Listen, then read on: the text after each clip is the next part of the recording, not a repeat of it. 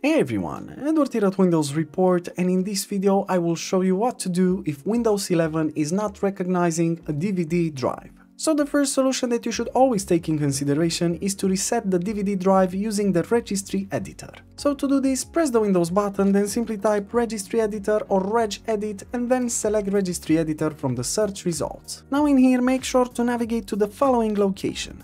HKey local machine, then expand system, afterwards expand current control set, then simply scroll down and find services and double click on it to expand it, and lastly scroll way down until you find the ATAPI key. Now just right click on the ATAPI key, hover over new and then select the key option. What you have to do now is name this key controller 0. Now just click on this controller 0 key, then on the right side make sure to create a new dword. To do this right click on an empty space, hover over new and select the dword value. Now the next thing you have to do is name this value the following. Now simply double click on it to open up its properties and in the value data make sure to set it to 1 instead of 0, then press on OK and restart your computer. You can then check if the problem still persists. Moving on, another useful solution is to remove IDE ATAPI drivers. To do this right click the Windows button then select Device Manager from the list of options. Now, in the Device Manager window, make sure to expand the IDE, ATA, ATAPI controllers section, and then make sure to locate the standard dual-channel PCI IDE controller. In my case, I don't have a DVD drive, but the similar example will be shown. So once you found it, just right-click on it and select the Uninstall Device option. Then you can just restart your computer and Windows will automatically reinstall these drivers. You can then check if the problem still persists. Another useful solution is to remove the upper filters, lower filters registry key.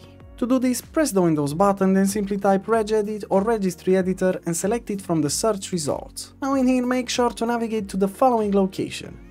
HKey local machine, then system, afterwards expand current control set, and move on by expanding control, then scroll down until you find the class key and expand it, and lastly, make sure to scroll down until you find this specific key. It will be also noted in this video right here on the lower part of the desktop. Now once you access this key, you'll see that you have two registry keys, lower filters and upper filters. Make sure to select both of them, right click on them and then select the delete option. You can now press on enter, then you can restart your PC and check if the problem still persists.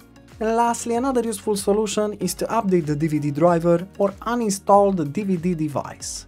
To do this, right-click the Windows button, then select Device Manager from the list of options, and then in the Device Manager window make sure to locate the DVD CD-ROM drives. Now expand it, and afterwards you will find the product that contains your DVD drive. Right-click on it, and then you can select either update driver if you want to firstly try to update the driver and lastly uninstall the device. You can then restart your computer and check if the problem still persists. Another great method is to use DriverFix which is a free updater application for Windows. So basically DriverFix scans your whole system and then searches the web for the most recent drivers and from there on you can choose to update the drivers you need manually or all at once if you upgrade to the Pro version. So make sure to check it out and get it for free by accessing the link in the description below.